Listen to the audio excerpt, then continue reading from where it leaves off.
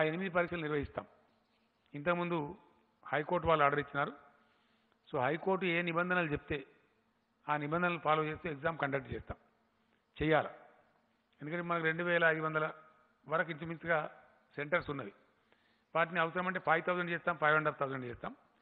తక్కువ విద్యార్థులు ఒక హాల్లో పదిహేను ఇరవై మంది మాత్రమే విద్యార్థులు ఉండేటట్టు ఈ భౌతిక దూరం పాటించేటట్టు హాల్స్ అన్ని శానిటైజ్ చేసేటట్టు అట్లానే ఆ పిల్లలకు వాళ్ళకు శానిటైజేషన్ కానీ మాస్కులు కానీ అవన్నీ ప్రొవైడ్ చేసి విద్యాశాఖ మంత్రి గారు స్టెప్స్ తీసుకుంటారు.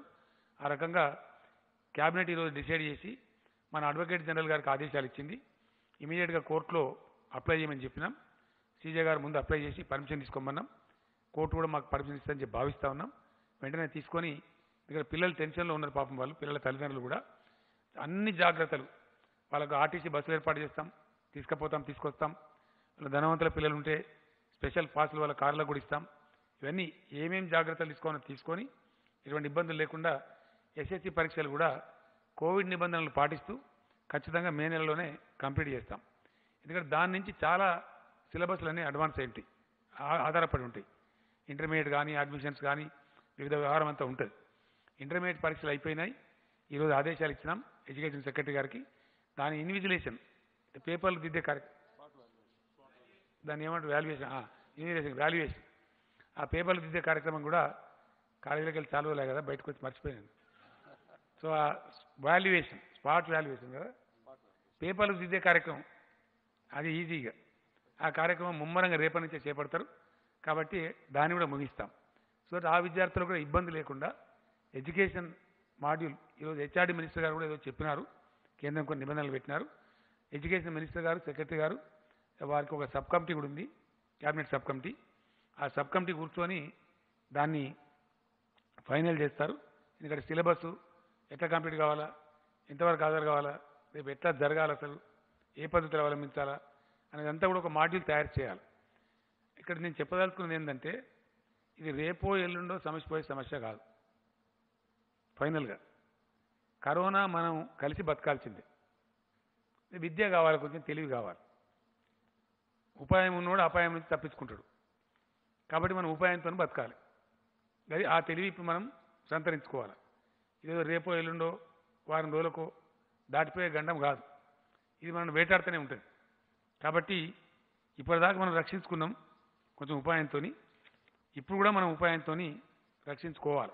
మనల్ని మనమే రక్షించుకోవాలి. ఎవరో వచ్చి మనల్ని కాపాడరు. కాబట్టి ఈ పదవ తరగతి పరీక్షలు నిర్వహించడంతో పాటు ఇంటర్మీడియట్ స్పాట్ వాల్యుయేషన్ కూడా పూర్తి చేస్తాం. నెక్స్ట్ సిలబస్ ఇయర్ ఏమైనా పదిహేను రోజులు ఆలస్యం అవుతుందా జూన్కే ఉంటుందా?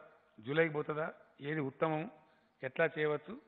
రాష్ట్రం యొక్క దేశం యొక్క కరోనా యొక్క పరిస్థితులను పరిగణలోకి తీసుకొని షార్ట్ పీరియడ్లో దాన్ని డిక్లేర్ చేస్తాం.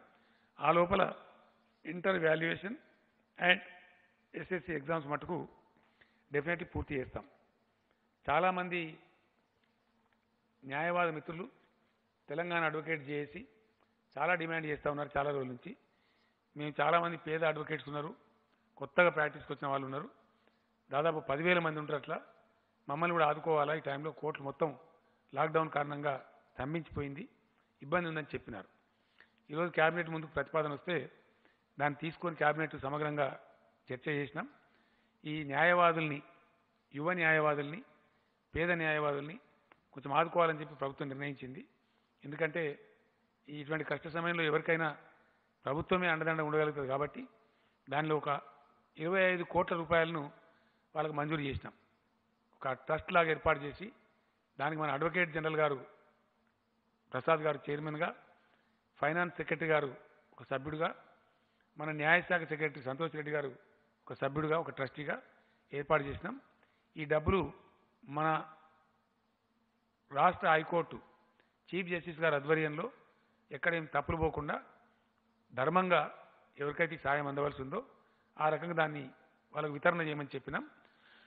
తక్షణంగా ఫిఫ్టీన్ క్రోర్స్ రిలీజ్ చేస్తూ ఉన్నాం. ఈరోజు రిలీజ్ చేశాం. ఫైనాన్స్ సెక్రటరీకి ఆదేశం ఇచ్చాం. వాళ్ళకి అంత అవసరం ఉంటే ఆ మిగతా డబ్బు కూడా దశల వారిగా దఫల వారిగా రిలీజ్ చేస్తాం. ఆ రకంగా ఫైనాన్స్ మినిస్టర్ గారు సెక్రటరీ గారు ఆ స్టెప్స్ తీసుకుంటా ఉన్నారు. ఆ విధంగా వాళ్ళని కాపాడతాం. అదేవిధంగా వలస కూలీల గొడవ. తెలంగాణ రాష్ట్రం చాలా డైనమిక్ స్టేట్. చాలా చాలా డైనమిక్ స్టేట్. ఇక్కడ నిజంగా కూడా తెలంగాణ స్ట్రెంత్ చాలా సంతోషం కలుగుతూ ఉంటుంది మనకు. ఇంత గొప్పగా పనులు జరిగే రాష్ట్రం. ఎన్నో రాష్ట్రాల వాళ్ళు ఇక్కడ వచ్చి పొట్టబోసుకునే రాష్ట్రం. ఒకప్పుడు మనమే వలస పోయినాం. సమైక్య పాలకులు మనల్ని అవమానాలు కూడా చేసినారు. మీకు రాష్ట్రమే కాదు మీకు పరిపాలన చేయరాదన్నారు.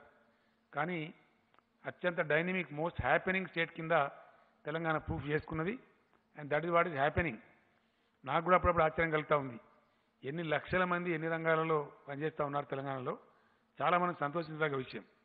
మనకి ఎంత శక్తి తోడవుతా ఉన్నదని సో నేను మొన్ననే చెప్పినాను. వాళ్ళకి మీరంతా మా బిడ్డలు మా తెలంగాణ అభివృద్ధిలో భాగస్వాములు. కాబట్టి మీరేం ఫికర్ చేయవద్దు. మిమ్మల్ని అన్ని విధాల కడుపులో పెట్టుకుంటాం ఆదుకుంటామని చెప్పినాం. ఆదుకుంటూ ఉన్నాం. దాదాపు ఏడున్నర లక్షల మంది కార్మికులకు వాళ్ళకి అన్ని వసతులు కల్పించినాం.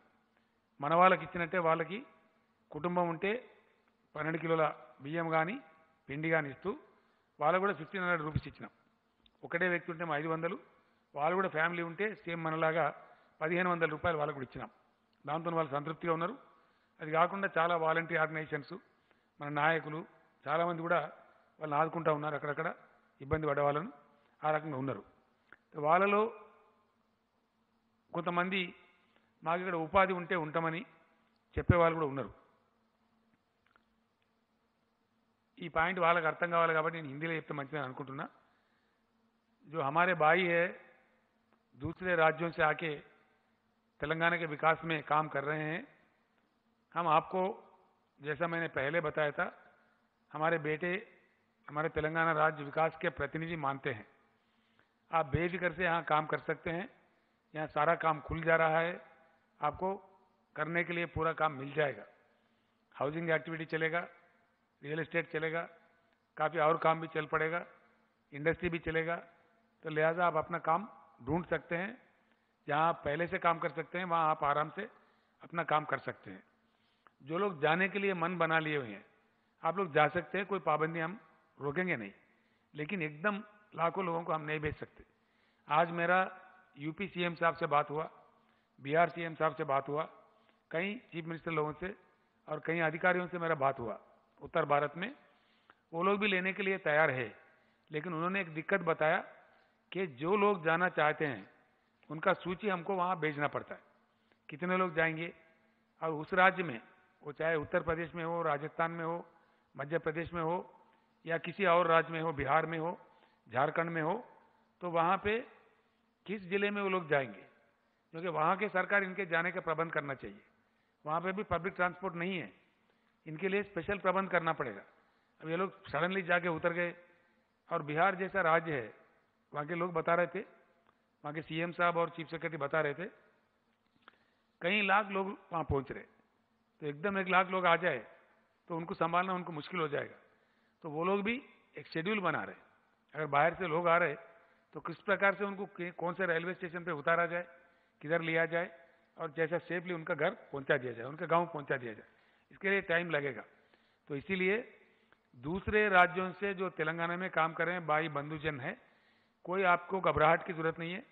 आप जाना चाहो तो हम भेज देंगे, लेकिन ज़्यादातर रुकने का प्रयास कीजिए। और इकट्ठा सारे लोग इकट्ठा जाएँगे संभव नहीं है। आप लोग ये समझना चाहिए। लाखों में, हज़ारों में हम नहीं भेज सकते। अब आज एक ग्यारह ट्रेन हमने भेज रहे हैं। आज देखिए, बिहार के लिए पाँच गाड़ी रवाना हो रहे झारखंड के लिए एक गाड़ी हो रहे राजस्थान के लिए एक ट्रेन जा रहे उत्तर प्रदेश के लिए दो ट्रेन जा रहे और मध्य प्रदेश के लिए दो ट्रेन जा रहे तो इस प्रकार से 11 ट्रेन आज हैदराबाद से रवाना हुई मैं 40 ट्रेन भेजना चाह रहा था, लेकिन उन राज्यों से भी हमारे को कंसेंट की ज़रूरत है। इजाज़त लेना पड़ता है। तो एकदम एक दस हज़ार गए, वहाँ पे बस नहीं मिलेगा, आप अपने गाँव नहीं पहुँच जाएँगे, वहाँ भी दिक्कत हो जाएगा, ये कुछ उल्टा सुलटा हो जाएगा।